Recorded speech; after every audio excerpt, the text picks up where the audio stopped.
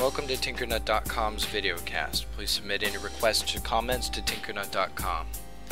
In this video I'm going to show you how you can take the URL or IP address of a website and trace it through all its different routing locations all the way back to its original location and then map that location. So the first thing that you'll need is the name of a website or the IP address of a website that you're wanting to trace. For this example I'm just going to use youtube.com.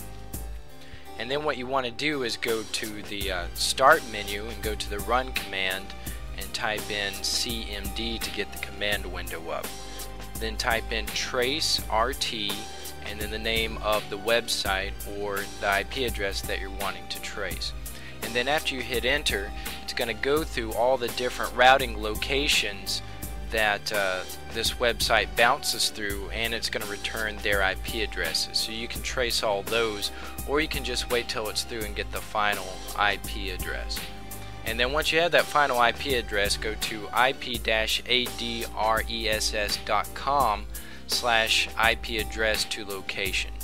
And then just paste that IP address that trace RT returned and click the lookup button. And it's going to show you the location of that IP address.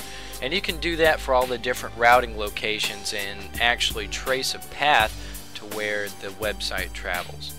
Alright, well that's it for this tutorial. For more, go to tinkernut.com.